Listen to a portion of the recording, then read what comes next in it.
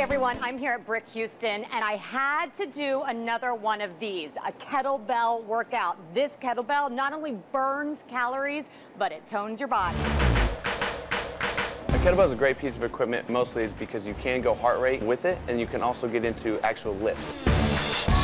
With those different dynamics, you can really put a good workout in, you know, in a 45 minute to an hour long session, just with really one piece of equipment.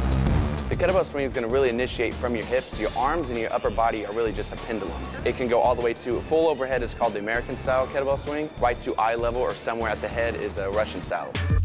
So the squat swing is actually the way we pick up the kettlebell. We always like to be about a foot or two away from it, and that lets us drop our hips and keep our torso upright. The way you pick it up is the way the squat swing works. This gets glutes and the hamstrings as well. Also starts to introduce the front of your leg, so really get a full leg workout.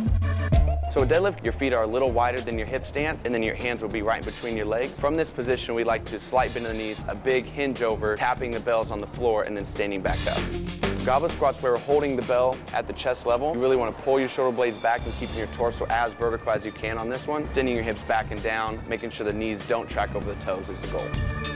The kettlebell row is where we're hinging at our hips, slight bend in our knees, the bell is almost to the floor and then we're pulling up to the bottom of the rib cage. And then you're just staying in that position with your torso back and forth with your arms from full extension all the way pulling up to the bottom of the rib cage.